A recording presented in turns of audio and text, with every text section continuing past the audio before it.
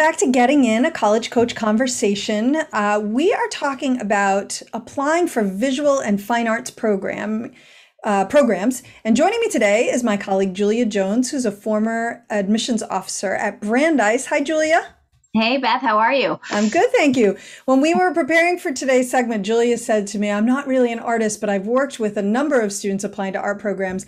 I would just beg to differ. Julia is an unbelievable knitter, and she also creates these amazing Christmas cards every year. So, Julia, with all due respect, I consider you an artist. I, I don't okay. think you should downplay that. well, thank you. Thank you. I think crafter or maker, I, I would probably go with. But yeah, that sounds good. I do no crafting. I do no making. In my mind, that's art. So uh, I'm sticking with it. Okay. Back to the task at hand. Um, so I think the first place probably to start are the different college options that are available to students who want to pursue something in the visual and, and or fine arts. So can you talk to us a little bit about the different types of programs that are out there and available to students? Sure, sure. Yeah, and I think that's that's usually where I start when I work with a student who may have an interest in doing something in, in visual arts or design. Um, is to really think about like what what what experience do you want? You know, there are different types of schools. There are you know the art schools, schools that really are kind of what I would call specialty schools. They really focus in on um, on art, um, and that's really all they they do. So, mm-hmm. you know, different, and, and, they all have different um, elements of art. There are so many different uh, disciplines within that too. So it's a big umbrella, but, you know, it can include everything from um, fine art or studio art to architecture, um, fashion design, uh, product design, and, and, uh, um, and even some, you know, graphic design and, and even game design too. So, right. Um, so I think, so there are definitely schools and schools that you probably have heard of, schools like, you know, Rhode Island School of Design or Savannah College of Art and Design um, uh, Maryland uh, College Institute of Art. Uh, so there are definitely, you know, art art programs. And for yes. students who are really focused and that's what they want and they want to do and they, they know for sure and that's not going to likely um, change, that could be a great option. Um, and then there are really amazing art uh, majors and programs in art and design at more traditional kind of four broader four-year institutions you know schools that um, that may offer a great business program or great engineering or arts and sciences but also do have often a separate school of art and design um, that that students can do. So it, it, gives you a little bit more flexibility if you want to study other things if you decide midstream that you want to change your major or want to change your mind. So i think there's there are definitely pros and cons to both to both uh, paths. Right, right, exactly. And I mean, I think of a place like Penn where there was a, a fine arts major, there was an art major that you could do at Penn, but you know, portfolio wasn't really part of the process necessarily. It wasn't required. And really, you just had to be strong enough to get into Penn. It was less about that versus, you know, an art only school where the only thing you were going to study there was going to be art or even architecture. Again, at Penn, no portfolio, but at a place like Cornell, there's a whole school of architecture and a portfolio is required there. So a lot of different options as you as you know and a lot of different ways to study art. It's not just painting and sculpting. Like you said it's product design game design fashion design right? So many different um, when people think about yeah. art and i think sometimes when parents think about paying for their student to study art in school i think what i would love to highlight here is that there are a lot of different ways you can be involved in art and a lot of them pay really good money. Um, you know yeah. you don't have to be the starving artist in a studio. So um, well speaking of portfolios because this is obviously a big part of applying for this type of major at the schools that require portfolios What's some advice you can give here to students? Yeah, I mean, I think that I probably the biggest advice is start early you know, and I think that's that's advice we give for a, in a lot yes. of ways and a lot of reasons, but it is it's starting early. Um, you know, your portfolio is meant to be a reflection of who you are as an artist, how you've grown over, and so you know, it's obviously something that you want to be working on, not necessarily a month before the applications are yes. due. I don't think that's even possible. Um, so you know, starting early, you know, get advice. You know, when I work with students, um, I'm not a, a, trained artist, let's just say, so I'm not. I've never put together a portfolio. I don't, and so um, you know that's not my what I'm helping them with, but I help tell them, you know, you have people in your world that can help you with this. You know, most many students are usually taking art in school. Um, AP art usually is focused on building that portfolio. Um, right. So you know connect with your teacher um, if you have other artists that you've worked with um, art teachers outside of school those are great people. They know you as an artist. They can help you you know to put together what you put together your portfolio and, and tell you what might be lacking what what you might need to do. So um, right. yeah. Um, and and so just general, can you walk us through what you see or what you have seen as kind of the general requirements for a portfolio in terms of number of pieces, that kind of thing? Yeah, I, it really does vary from school to school, but I think a general portfolio usually is somewhere between 12 to 15 pieces. Mm-hmm. Um, and, and they should be kind of reflections of, you know, of who you are as an artist. Um, you know, maybe, di- you know, what media do you work with? Um, you know, maybe how you've grown. So different pieces th- that show the diversity of your style. Um, you know, ideally they should show you as an individual too. So uh, if you're not, you know, they should reflect, I mean, some of them will probably be from um, your art class, mm-hmm. but they shouldn't all be things that you've done in class. I think they should set you apart in some way, kind of in the same way that when we talk about the, you know, the the written essay for mm-hmm. most applications you know, that should be a little piece of who you are as a person. And think of your portfolio as a way to really show who you are as an artist. Um, and, you know, it may be that you're really passionate and focused in one or one or two media styles, and that's okay. Or it might be that you, you know, you've really experimented. And so, um, so there's no right or wrong. It's just really what's going to be your best things that you're most proud of, but that are also going to give you, um, you know, really show, show your growth and development as an artist. Right. And of course, if they're interested, they should be looking at the portfolio requirements on their individual schools of interest because each one might have some unique thing that they specifically want and to your point, you really can't leave this stuff to the last minute. Um, I wouldn't think. I don't know. I'm not an artist, so I don't think you could sit down though at a canvas and bang something out in an evening and say this is really representative of, of what I'm capable of. No, and, no, yeah. it's not.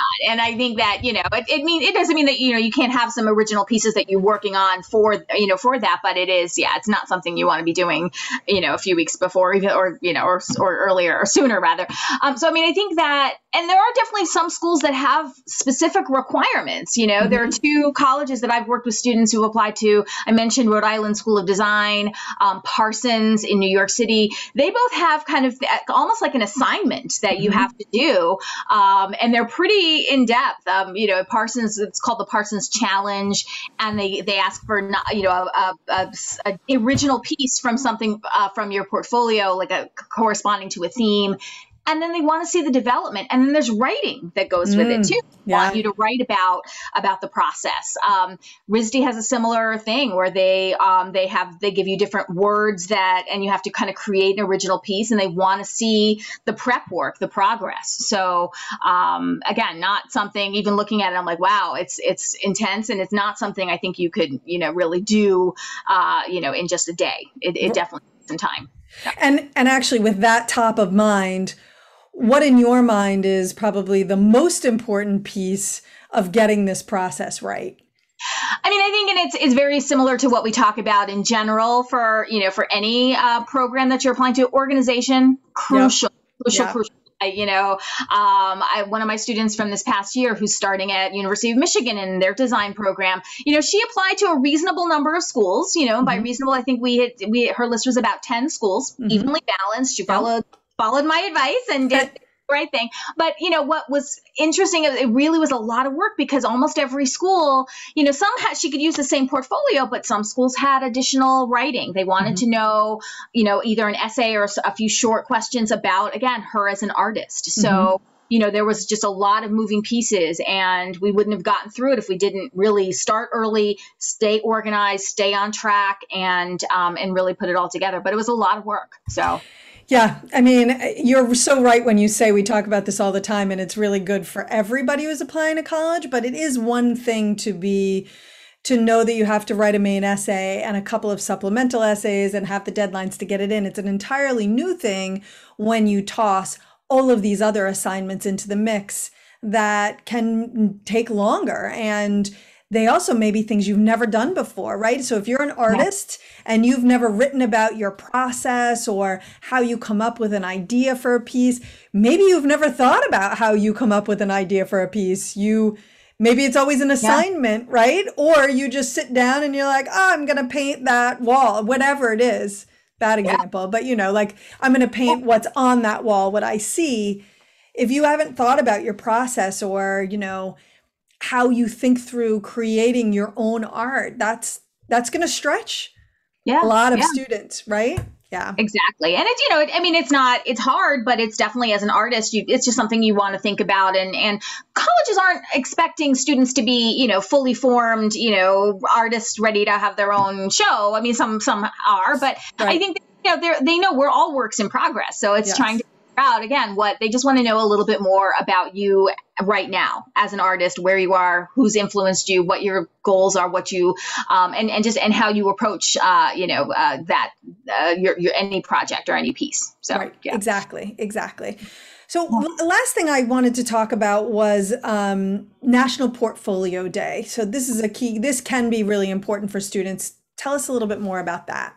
Yeah, it's a grouping. There's, I think, about a hundred, over a hundred schools that are a part of it. It's they do um, uh, events around the country. They do virtual events too, um, and it's an opportunity, as I mentioned earlier, get help. You know, have people look at at your portfolio to look at your, um, you know, what you've put together before you submit it. And so it's it's it's kind of like a college fair, but for art schools, and you can, you know, set up a, t- a time to talk to. So if you're applying to um, to RISD, if you're applying to SCAD, if you're applying to Michigan or or Cornell, you can, you know, you can go there and they will take a 15 minute look at the admissions officer who, who works for that program will give you some pointers and tell you, you know, maybe what, you know, what you need to add or what your, how your portfolio looks. So um, right. it can be really, you know, and it's a great way to show your interest and, and, you know, I would treat it kind of like a little bit of a mini, interview, if you will, but it really has a purpose beyond that, where it really can help you um, to understand what they might be looking for at, in a portfolio and give you some opportunity to right. uh, to get to improve it. Yeah. Right, exactly. And what a brilliant opportunity because there typically is no opportunity for you to show up at a place where 100 schools are there. You could show them your essay and say, hey, what should I be working on here? Um, so and that's probably a good thing but that i digress a, a hundred yeah. different colleges just went oh my god the idea of doing that right? i can't even imagine but the art feels like maybe that would be a little bit easier to to address um, so yeah absolutely something to take advantage of I, something else if you don't see the school you're interested in has a portfolio day you could request a meeting with someone in the art department. That's something that you could always ask for and if they have someone available and you could bring your work and they might be willing to give you a, a quick assessment of it. I you know can't promise that but if you're going to be visiting schools they're open and they're uh, you know open to visitors it could never it, i don't think it will ever yeah. hurt to at least ask the question Absolutely. Right. And it's again, it's it's kind of like, you know, you're you're touring if you were an engineering student, you'd be touring the engineering facility. You're going to probably want to see the facilities and the studio and everything. So if you are or even if it's virtual and you and they're doing, you know, so if you have an opportunity to connect um, over, you know, over Zoom or over uh, you know, even over the phone, it's hard to do that over the phone, but I think, you know, either way, trying to really um, you know, to get them to take a, a quick look or even talk about what they might be expecting in a portfolio. I think that will really, really help. Yeah, and absolutely. And I think the last thing I would say too is for parents out there or students too who are sort of thinking, well, I love art, I'd love to study art. What am I going to do with it when I graduate? Another thing that you could do is talk to them about, you know, where do students go on from here? What where are they working? What companies hire them? What kinds of jobs are they doing? So that you can wrap your brain around what the opportunities will be and if those sound like interesting ones to you. Yeah. And I think also even art specific art schools that may not necessarily have, you may think, oh, well, I, I want to study business or get an, a handle on that. Um, you know, a lot of art schools, that's part of their curriculum too. Yeah. They're really helping students, you know, they know that you can't just, they're not just going to let you out in the world with an, with you know some amazing art and some amazing talent with not you know without the practical skills. So um, right. I have a student at Savannah College of Art and Design, and she um, you know was doing product design and yeah took a, quite a, a, number of marketing and and you know classes that really helped her from the business side of, of things too. So right right yeah. which so something to look for when you're looking at these programs is what are they combining with the art that will help you be prepared like you say to to go out into the world ready to do this for a living rather than something you're going to just do in a studio. So, Julia, thank you so much for joining today. I really appreciate it. Thanks for having me. Absolutely. All right, we are going to take a short break. And when we come back, we are talking about the supplements for Wake Forest. So don't go away.